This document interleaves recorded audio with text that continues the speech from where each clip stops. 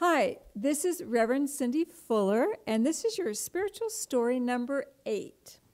And so it's just a small little ghost story. Um, you know, when you're working with spirit, sometimes you're asked to go places, and um, sometimes you don't know why.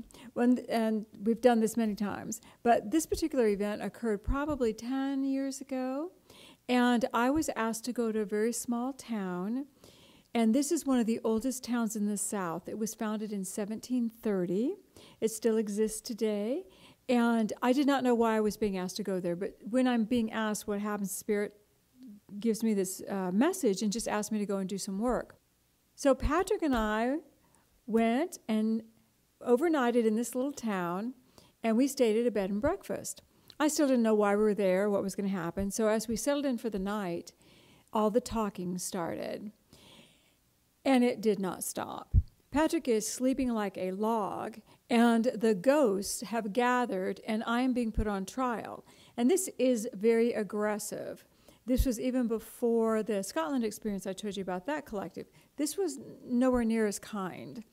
And they were all gathering, there were hundreds of them, and it was it was continual. Why are you here and what are you doing? Why are you here and what are you doing? And I said, I don't know why I'm here. God asked me to come, and I don't know what I'm doing here. I did not come to disrupt you. I haven't been given any guidance yet. So, can I just get some sleep? I turned on every light in the hotel room.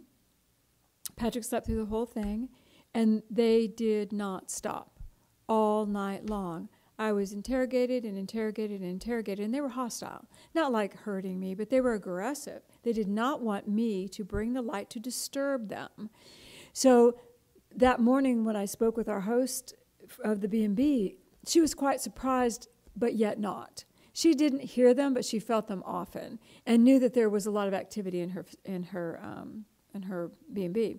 So, what happens is that sometimes when spirits cross over and they don't want to go to the light, they'll stay in an area, and when they stay, they become sometimes an organized collective so that if other people are dying as the years go by and they don't have a faith in God or don't want to cross to the light, they're kind of swept up into this vortex. And so we have this vortex full of beings that just have never crossed. And they could be from many, many different decades just gathering together. And that's what this was. There were some beings that were from the 1700s that were very uh, politically organized, and then a collective after that. So this is what happened. Um, we checked out. And I'm like, thank God, I got to get some sleep. And I said, God, I do not know why you brought me here. I have no idea why you brought me here. I showed, I did what I said I was going to do.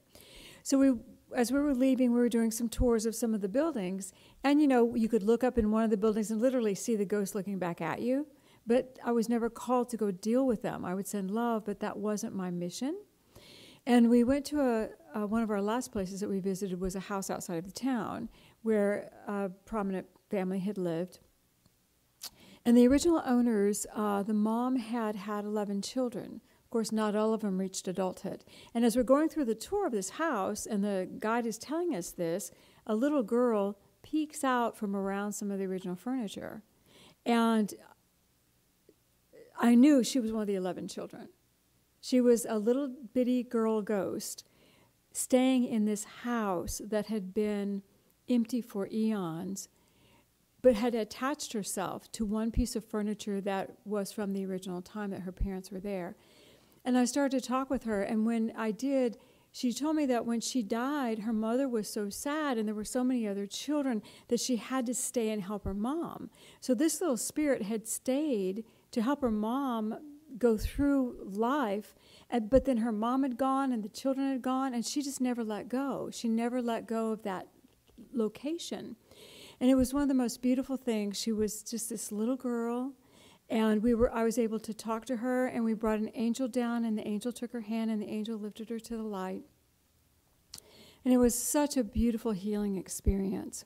And I walked out to the car with Patrick, and it's like, that's why I was asked to come. I was not asked to come for all the big ghosts that were there. I wasn't asked to come for the famous ghosts that were still walking in that building.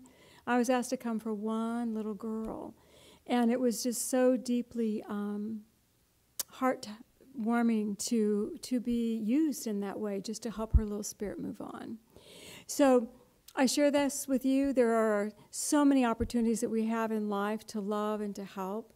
And when you feel, when you're anywhere and you feel that um, presence of someone, always send love, always send a prayer. You don't have to uh, create a column of light for them, just love them and ask that God can take them where they need to be. And this little girl was so far off the beaten path, no one had even seen her. So I hope that was of interest to you, and I hope that you take a little bit more awareness with you when you travel. Till next time, Cindy Fuller. Yay, God.